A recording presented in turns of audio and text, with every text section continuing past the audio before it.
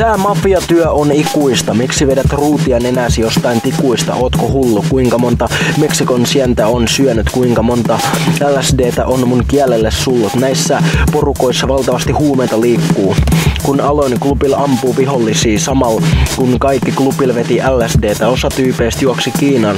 Osa on niin sekaisin, että alkoi vaan keinus kiikkuu.